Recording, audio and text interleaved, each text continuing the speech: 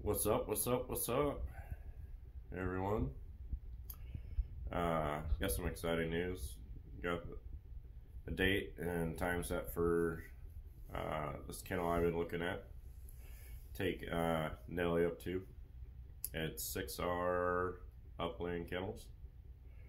Uh, so tomorrow at 3, 310 I'm actually going to go live instead of trying just to upload it because it takes forever.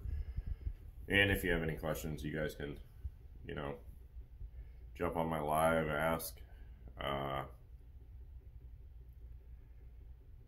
or you know, check the facility out. We'll we'll basically it'll be you know walking through the kennels, seeing some of his dogs work.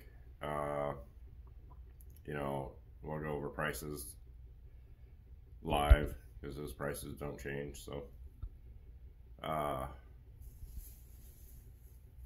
you know, hopefully we'll be able to see, like I was saying, hopefully be able to see some of his dogs actually work. He says he can, he usually works five or six dogs at a time, so that'll be pretty cool to see. I mean, to see six dogs backing each other is pretty amazing. Especially with my dog, you know, he was backing last year. This year he's not. So I mean, I'm gonna have to do a bunch more wellowing work with him, uh, stuff like that. But back to six R kennel.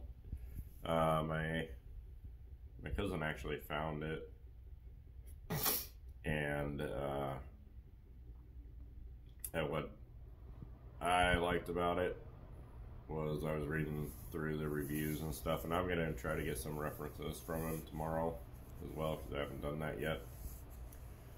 Uh, but you know, I've read people's comments and seem pretty pleased. So that was my biggest biggest thing. And you know, there's a couple other dogs I know that are going there that I hunt with. So, well, possibly. Uh, you know, one of the things I'll be looking for is you know where do the dogs stay. Uh, uh, obviously, it's going to be inside because it's super cold out here.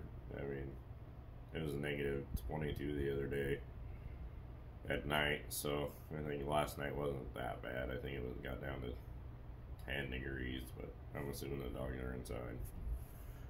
Uh, you know, and with being inside, the other thing to worry about is uh, noise.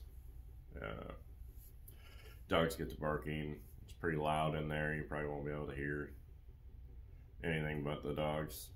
So we'll see how that goes. We'll actually probably look around and see where he does his training. We'll go over whether he does uh, what he uses for live birds. You know, a lot of people use chukars because they fly back. Uh, pigeons, uh, quail. Uh, most most trainers don't use pheasants because they're more expensive but we'll go over stuff like that. Uh, like I said, if you guys have any questions or want to check the facility out and check 6R Upland Kennels out, just join me tomorrow at 3, 310 and uh, on my live stream here. Thanks.